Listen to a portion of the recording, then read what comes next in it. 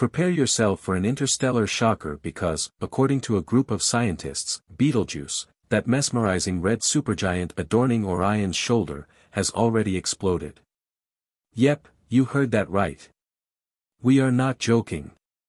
Within the next 10 years or a few decades, its brilliant aftermath will illuminate the night sky. But how did scientists come to this claim? Should we be concerned? Could the James Webb Space Telescope capture the remnants of Betelgeuse? Today, we're diving deep into all the latest details.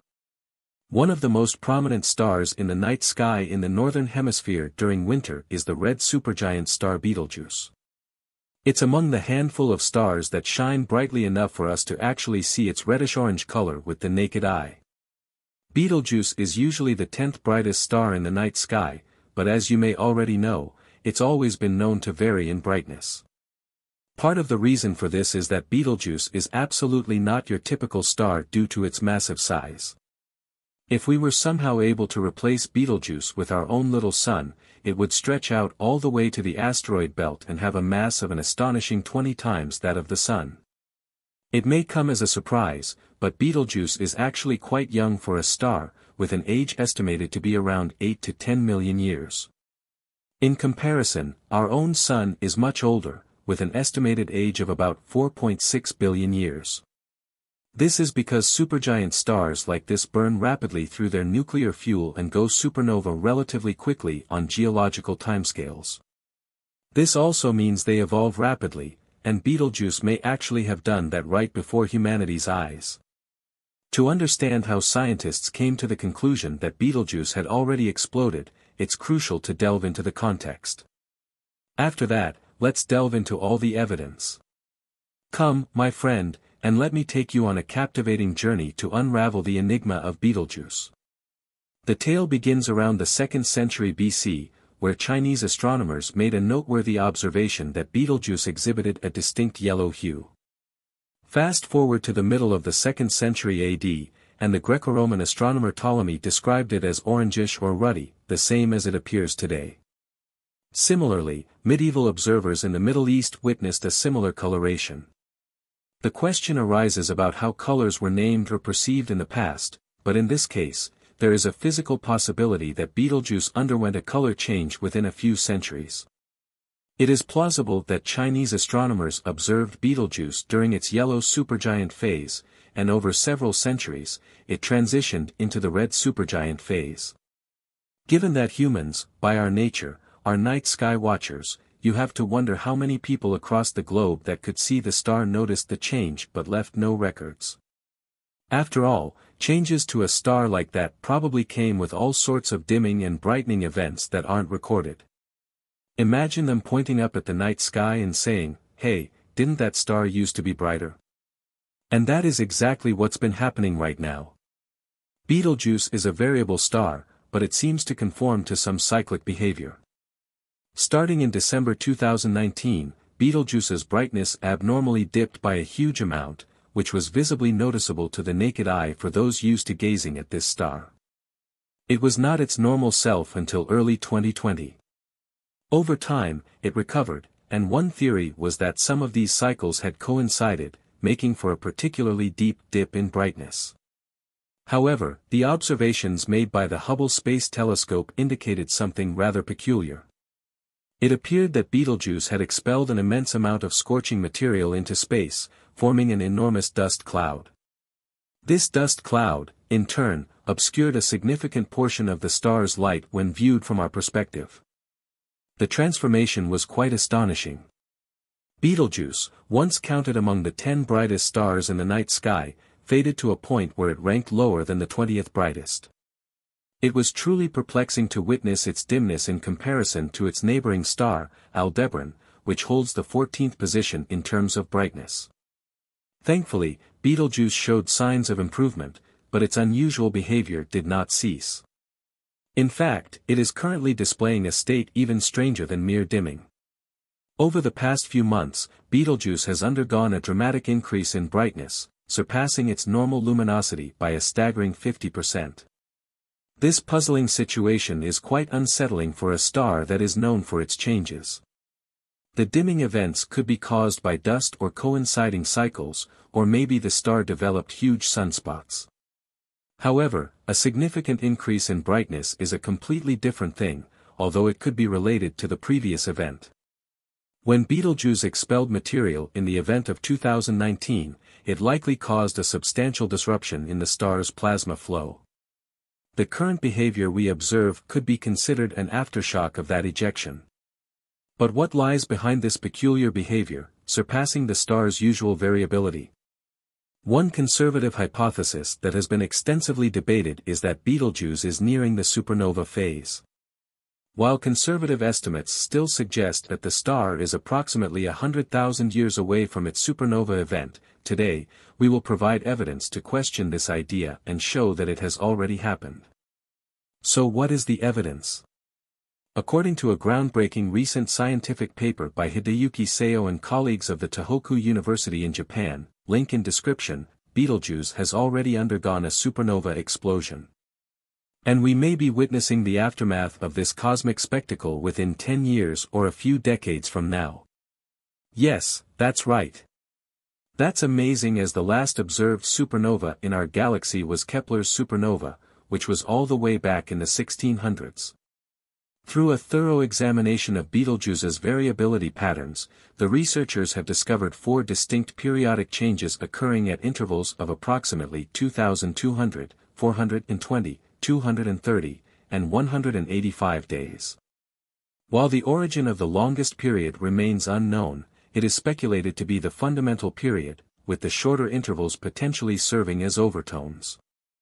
The researchers propose a model suggesting that Betelgeuse is in a late stage of carbon year burning, implying that it may be on the verge of a spectacular explosion, positioning it as a prominent candidate for the next expected supernova event within our Milky Way galaxy. When it comes to unraveling the mystery surrounding Betelgeuse, there's a bit of a puzzle. You see, there are some conflicting observations regarding the ejection of materials and the star's subsequent recovery. The general consensus leans towards a mass ejection event, something not entirely unheard of for various types of stars, although on a smaller scale compared to our own sun. But here's the twist, supernovae are a real thing too. We actually witnessed one in a satellite galaxy of the Milky Way back in 1987. So, while it's possible that our estimates for Betelgeuse's explosion timing could be off, don't go planning a vacation around it just yet. The tricky part is that Betelgeuse is currently tricky to observe. It has slipped behind the sun and won't be visible again until at least August. As a result, we're left in the dark about what this enigmatic star is up to at the moment. What we do know, however, is that it's bucking its usual trends by brightening. Now, here's something fascinating, Betelgeuse's immense size and relatively close proximity, approximately 650 light-years away, allow us to actually resolve a disk when observing it. Most stars are simply too far away, appearing as mere points of light. But with Betelgeuse, we have a rare opportunity to capture direct variations in its light output through photography.